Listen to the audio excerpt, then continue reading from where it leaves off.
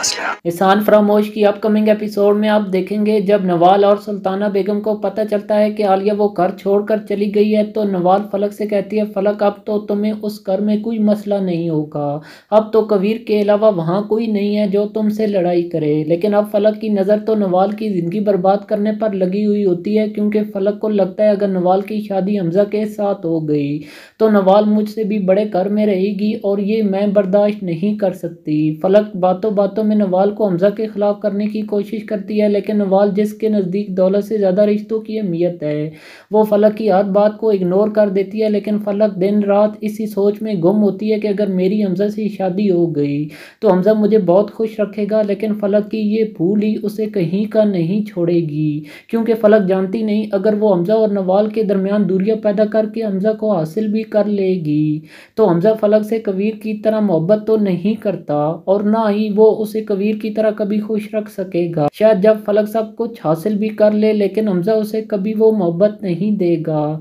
जो वो नवाल से करता है, तब उसे कबीर की मोहब्बत का एहसास हो, लेकिन उस वक्त तक बहुत देर हो चुकी होगी।